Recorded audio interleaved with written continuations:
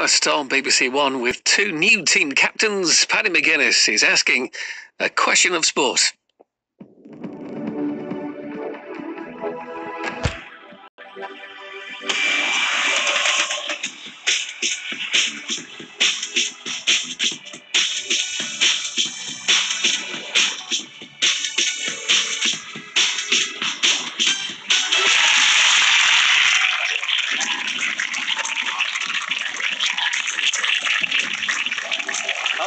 Welcome to a brand new series of Question of Sport. And I've got to say, what a privilege it is to be sitting in this chair.